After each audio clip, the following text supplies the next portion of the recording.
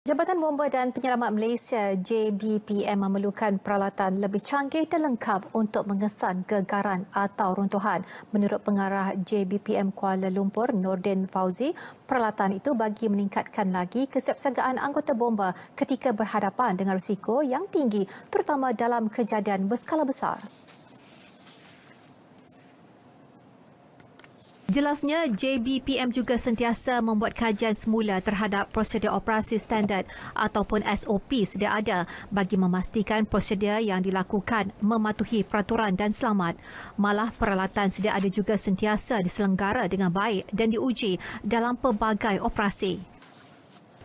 Operasi yang uh, begitu rumit ini, kita perlukan pelbagai peralatan. Daripada peralatan komunikasinya, peralatan menyelamatnya, dan juga peralatan pengesanan.